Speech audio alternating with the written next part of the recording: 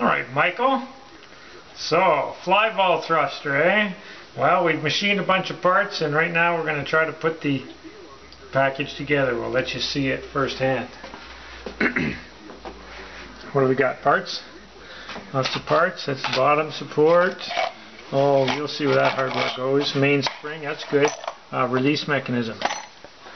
See if I can put it together without uh, screwing up anyway. We're going to start with the side support arms. We have holes in the end to hold the front and rear plate, pivot arm, that holds the bottom spring mount. So, first things first, we're going to put some little threaded rods inside here. Let's try this. So we put those in. In order to tighten up threaded rod, we use a lock nut system. On. Take two. Take two nuts. Lock them together. Now they're locked together. We can tighten that threaded rod in nice and tight. Then we're going to remove this.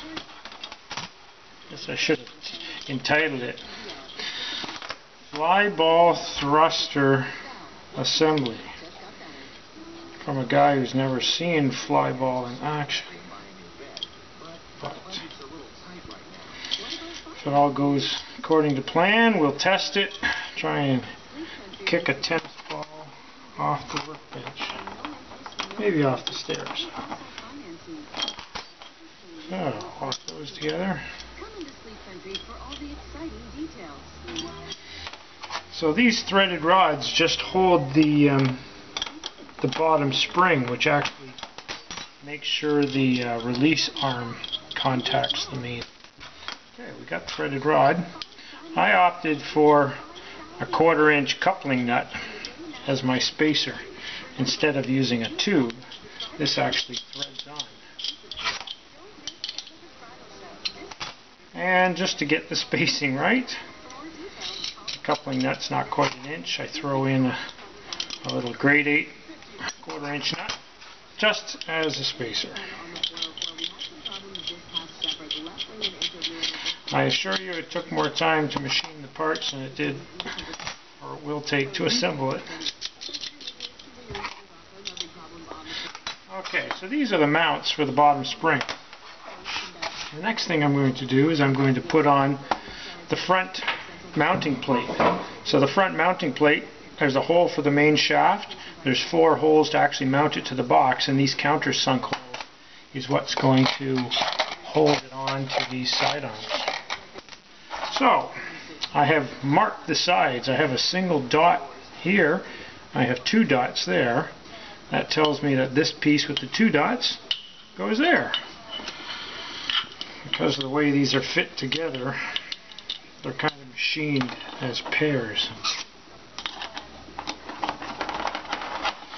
This is a number 10 by 24 flathead machine screw. Happens to be stainless steel, so it won't corrode on you. These little machine screws are um, about three quarters of an inch long. They're actually one, one inch long screws that I cut about an eighth of an inch off. Just because that's what was required.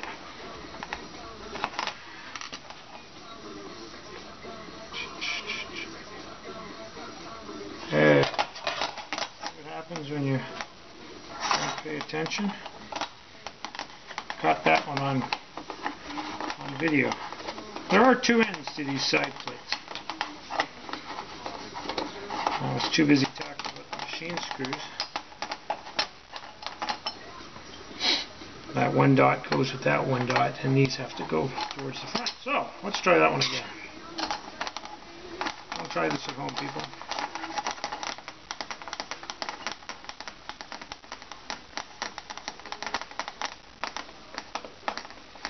Didn't want to put them on backwards or on the wrong side, so I've marked them all. Alright, you'll see on the back plate when it goes on, I've got three marks here and three there, four here and four here.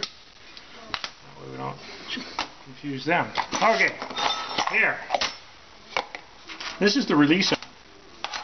The release arm has a cold rolled steel bar that's going to contact with the whatever the dog steps on.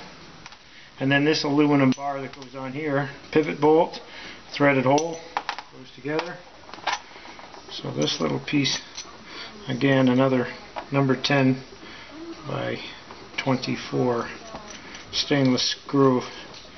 This is a um, a oops, panhead bolt. It's a machine screw actually.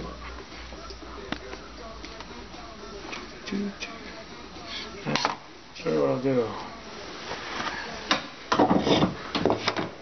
Just to make sure I don't I don't want the two pieces to twist while I'm tightening it up.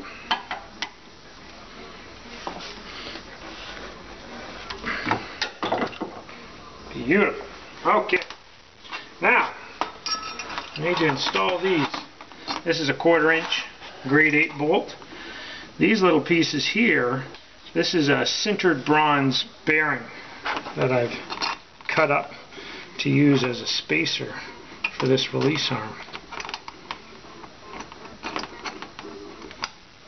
I have another one over here.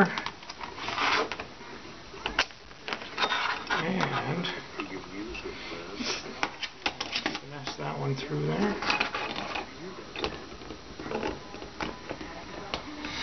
Now,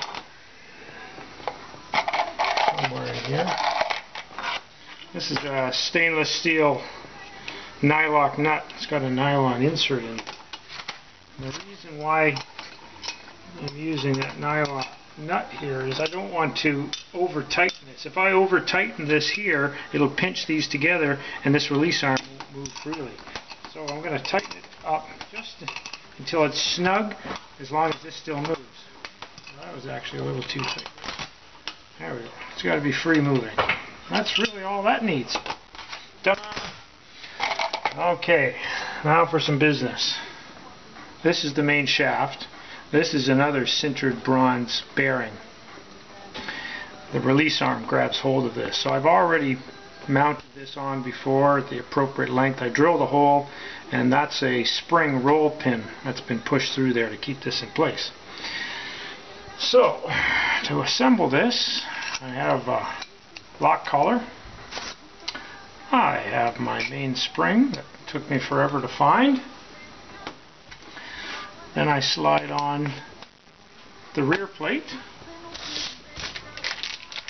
And on the back of that, I've used this wire grommet.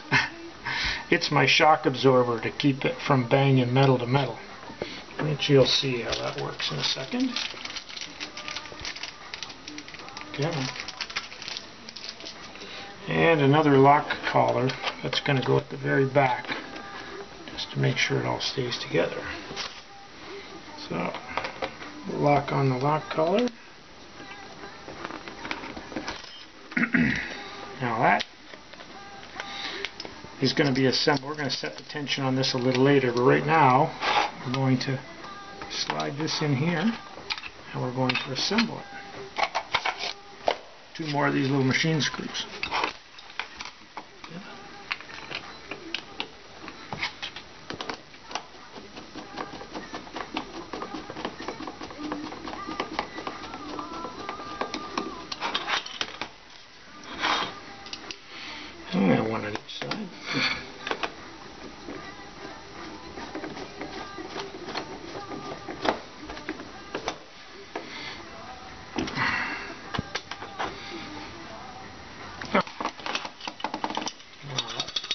Shaft kind of wiggles back and forth in there. In order to set the tension, I'm going to take it and I'm going to pull it backwards a bit. I don't know, we can adjust the tension later.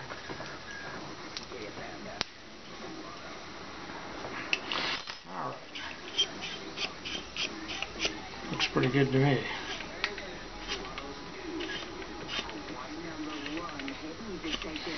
Might be too much, but we will see. And the last little piece is the bottom spring support. I have this spring. I slide a washer into the bottom rung there and then I'm going to take another of my pan head bolts shove that down here and this is just going to hold the return spring right place hopefully that all works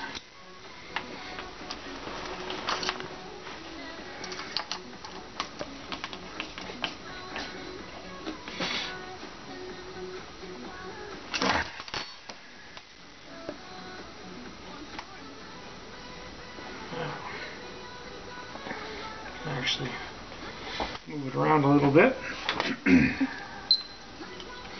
now, this slides here.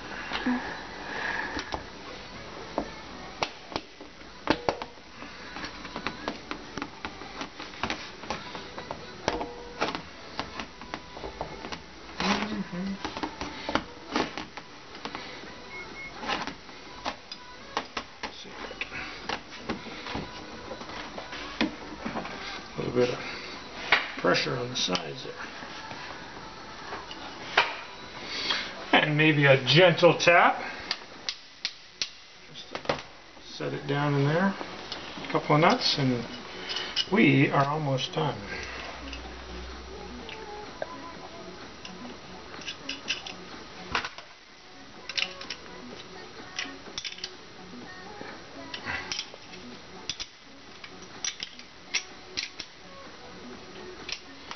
Alright. So this bottom support pushes that spring up onto the release arm so that when I push it back to arm it, if that... Oh, it's not adjusted right. Let me loosen this off a bit. The fine tuning. Okay, now I'm going to push the arm in and the release arm has gone up and has held it in a cocked position there. then, when the dog jumps on the door, which pushes this arm, it shoots that out. Then you push it back and it relocks it up. That little arm pushes this this release piece back in there. Alright, that's what it does. Now, let's go see if it shoots a ball.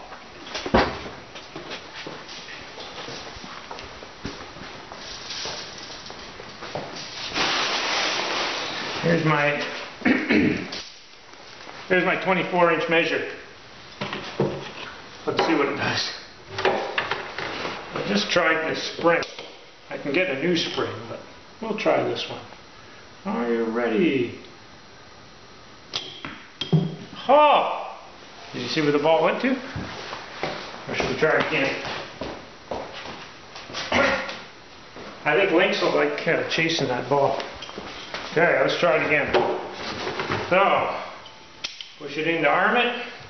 Put the ball down here. If you want to film towards the end of the measuring tape, we'll do a countdown. One, two, three. Ah, that looked about 30 inches maybe. Ah. All right, I'm going to go into rest. Okay, Michael, here, here, we'll show you back in the light. We'll give you a close-up.